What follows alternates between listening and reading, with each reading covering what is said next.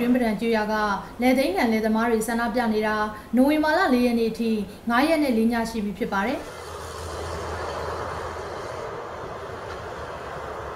လယ်သမားတွေဟာရန်ကုန်တိုင်းဒေသကြီးလာသာမြို့နယ်အနော်ထာလန်းနဲ့စင်ယိုရန်လန်းနောက်မှာရှိတဲ့ဝါဝါဝင်းကုမ္ပဏီရှိပလက်ဖောင်းပေါ်မှာဆန္ဒထုတ်ဖော်နေကြတာဖြစ်ပါတယ်နိုင်ငံတော်စက်မှုစုံလို့ပြောပြီးတော့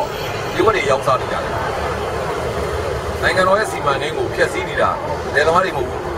နိုင်ငံတော်ရဲ့စီမံကိန်းကိုဖျက်ဆီးနေတာအဲ့ဒီကရိုဒီတွေရဲ့သမာဓိဆိုင်ရာတွေရဲ့ပေါင်းပြီးတော့နိုင်ငံတော်ရဲ့စီမံကိန်းကိုဖျက်ဆီးနေတာပြီးတဲ့ပြီးတော့လယ်သမားတွေကစူပူတယ်ဆိုတဲ့အားမျိုးနာမည်တက်တယ်အဲ့ဒါမျိုးကတော့ဖြစ်မကန်နိုင်ဘူးအဲ့ဒီအတွက်ကျွန်တော်အခုဆိုရင်9ရက်နဲ့4ညရှိပြီကျွန်တော်တို့စီပြန်ပြီးပို့ဆောင်ခေါ်ဒီဂျိုဒန်ရဲ့အပြင်းအောင်အတွက်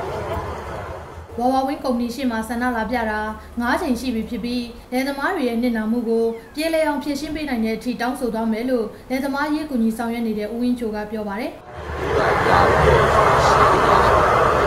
ကျွန်တော်တို့ခြေနဲ့တဲ့အဖြေရမှာပြန်တယ်။ဒါရရင်ကျွန်တော်တို့အားလုံးလာလာဆောင်းချင်အောင်ကောင်းပြီးလို့လည်းလာတာ။ဒါမှမရရင်တော့ကျွန်တော်တို့ပြန် ဆ န္ဒပြလယ်သမားတွေအနေနဲ့ပလက်ဖောင်းပေါ်မှာငုတ်တုတ်ထိုင်ဆန္ဒပြနေတာဖြစ်ပြီးအစားအသောက်နဲ့နေထိုင်ရေးတွေအခက်အခဲကြုံတွေ့နေရပါတယ်။နိုင်ငံရေးကျင်းသားဟောင်းများအဖွဲ့ကဆန္ဒပြလယ်သမားတွေကိုနေ့လယ်စာထမင်းနဲ့ဟင်းတွေလာရောက်လှူဒန်းခဲ့ပါတယ်။